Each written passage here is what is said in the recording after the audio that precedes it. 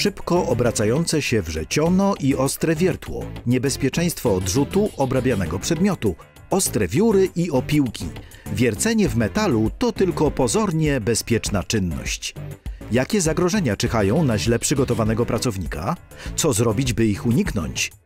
PHP przy obróbce metalu wiertarka to film omawiający źródła zagrożeń, przedstawiający złe i polecający dobre praktyki.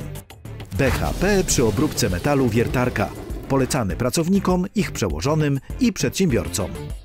BHP przy obróbce metalu wiertarka. Wiedzy o bezpieczeństwie nigdy za dużo.